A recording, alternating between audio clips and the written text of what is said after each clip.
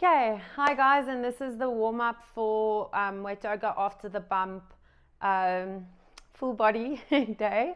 So I want you to stand. This is not going to be like a hectically long warm up, it's just to get the juices flowing. Um, so you're going to stand with your feet shoulder width apart, shoulders nice and rolled back, core activated. You're going to go inhale, hands overhead. You're going to exhale. You're going to start by dropping here and slowly but surely go down towards the floor. Once you get to the floor, you can swivel your feet out a little bit, and that's where I want your feet at the edge, edge of the mat.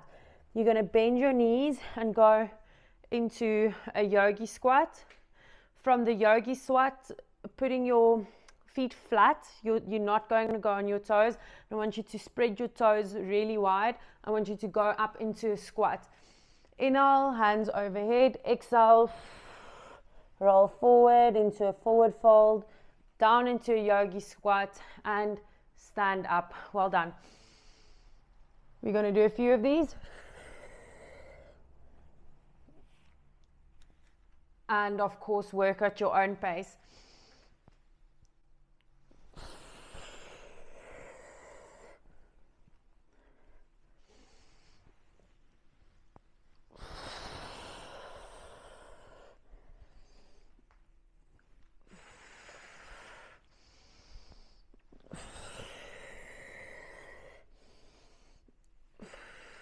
So it's inhale, hands overhead. Exhale, forward fold.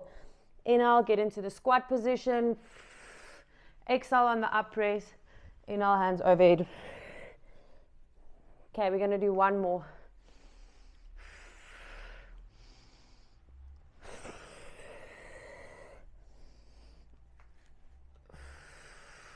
Well done. Okay, let's jump into the workout. I want you to throughout the workout, inhale and exhale as fast as possible through your nose and have fun.